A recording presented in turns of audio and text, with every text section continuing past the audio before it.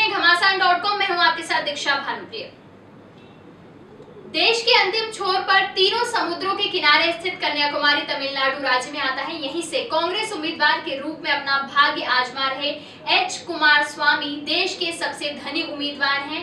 उनकी कुल संपत्ति 413 करोड़ रुपए बताई जा रही है। आइए उनके बारे में और भी कुछ जानते हैं।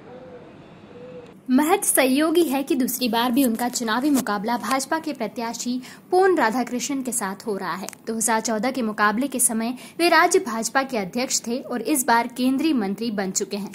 पिछली बार उन्होंने तमाम संसाधनों के बाद भी वसंत कुमार को सवा लाख से ज़्यादा के अंतर से पराजित किया था। वैसे उसके पहले, यानी 2004 के चुनाव में इसी सीट से राधाकृष्णन को द्रविड़ मुन्नेत्र कशगम के प्रत्याशी जे हेलेन डेविडसन ने करीब सत्तर हज़ार मतों से पराजित किया था। उसके पहले ये सीट नागर कोयल के नाम से जानी जाती थी। वहाँ से भी राधा राधाकृष्णन 1999 में कांग्रेस के एन डेनिस को पराजित कर लोकसभा सदस्य बने थे। यानी 2008 के चुनाव में नए परिसीमन के बाद हुए सभी चुनावों में राधाकृष्णन इस सीट से लड़ते रहे।